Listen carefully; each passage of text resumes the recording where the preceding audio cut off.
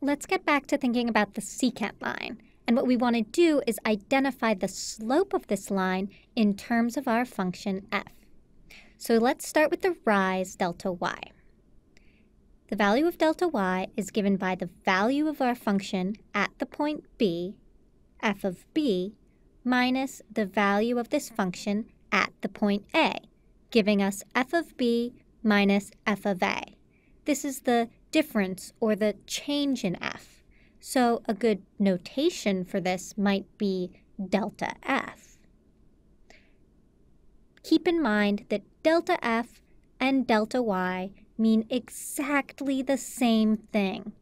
Both of these notations are used, so you're going to have to get used to it and understand that delta y is a quantity which is equal to the quantity delta f, and they may be used interchangeably. Okay, now enough about delta f.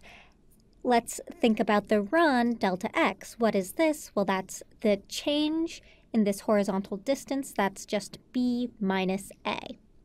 So what is this slope? It is given by the ratio f of b minus f of a all over b minus a. Now, hopefully this expression looks a little bit familiar to you. This is the expression that computes the average rate of change of our function f with respect to x. So what have we just done?